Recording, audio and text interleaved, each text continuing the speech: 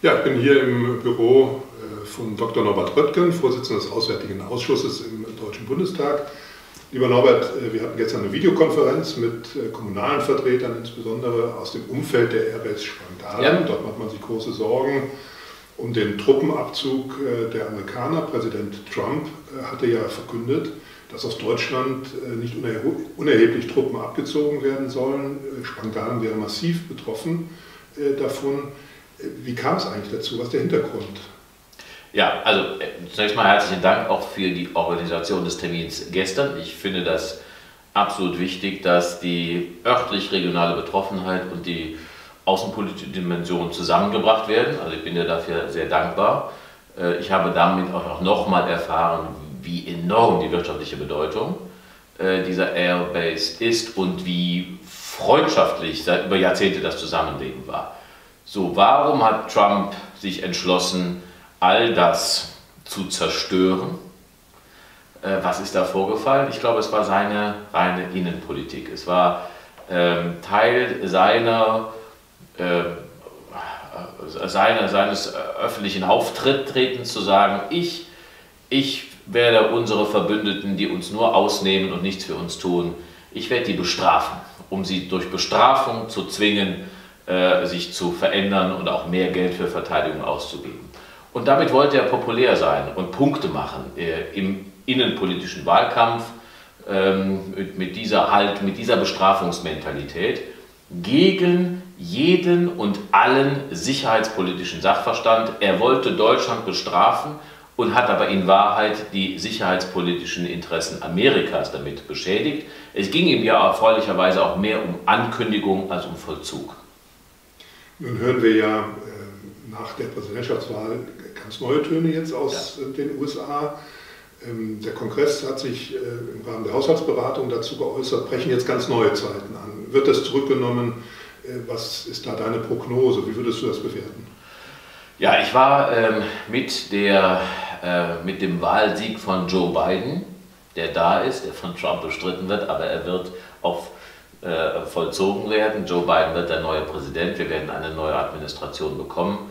Ganz optimistisch und habe auch gesagt, das wird auf den Prüfstand gestellt. Äh, weil im Kongress, übrigens parteiübergreifend, auch die Republikaner im äh, Kongress, im Senat und Repräsentantenhaus haben von dieser Rückzugspolitik nichts gehalten. Und jetzt ist es aber sogar in einer ersten Maßnahme des Kongresses schneller gekommen, als ich es auch gedacht habe, erfreulicherweise. Der Kongress, das Parlament ist auf die Bremse getreten und hat gesagt, das wird erstmal gestoppt und die Administration soll uns jetzt erstmal erklären, was der Sinn von diesem Rückzug ist. Und damit kann man, glaube ich, sagen, das ist der, der Anfang vom Ende dieses Rückzugs, denn die sachverständige Einschätzung war immer die, ähm, wir sind mit dieser Airbase und anderen äh, Truppenstützpunkten in Deutschland einen Ozean näher an den Einsatzorten der USA. Dort, wo wir sein wollen, aus sicherheits- und außenpolitischen Gründen. Wir wissen die Standorte in Deutschland, Rammstein, Spangdalen, absolut zu schätzen. Wir wollen in kein anderes Land. Das ist das Beste, was wir kriegen können in der Kooperation und übrigens auch in der Freundschaft ähm, mit äh, der äh, ortsansässigen Bevölkerung. Äh, und das haben jetzt parteiübergreifend Republikaner und Demokraten beschlossen, sind auf der Bremse und jetzt müssen wir auch dranbleiben von Deutschland aus, um zu sagen, wir schätzen diese Kooperation äh, und wir befürworten es sehr, wenn es bei dieser Tradition und Kooperation bleibt.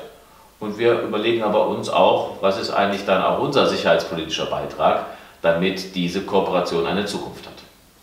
Ganz konkret, was können wir tun? Was kannst du vielleicht tun, äh, damit die Airbase Spangalum so bestehen bleibt, wie sie bisher bestanden hat, aus amerikanischen Interessen heraus, aber auch aus unseren Interessen ja. heraus. Also ich bin auch durch das Gespräch gestern jetzt äh, nochmal erinnert worden, dass bei meinem ersten Gespräch mit meinem neuen Amtskollegen im Repräsentantenhaus, Gregory Meeks, ein, ein Demokrat aus New York, der der neue Vorsitzende des äh, Auswärtigen Ausschusses im Repräsentantenhaus wird. Ich habe ein Telefonat nächste Woche mit ihm und werde das als ein wichtiges Thema dort ansprechen. Ich werde sagen, wir wünschen, dass ihr bleibt. Das ist ein Zeichen auch äh, jetzt einer wieder guten Partnerschaft, in einem guten partnerschaftlichen Geist. Ich werde es also in meinen Gesprächen äh, ansprechen und thematisieren. Und ich glaube, das wird auf fruchtbaren Boden fallen.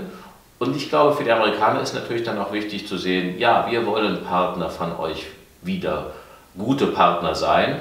Aber sie werden uns natürlich auch sagen, wir wünschen uns auch, dass ihr gute Partner seid, dass auch ihr wisst, wir sind nicht mehr im Kalten Krieg. Der Kalte Krieg ist 30 Jahre vorbei.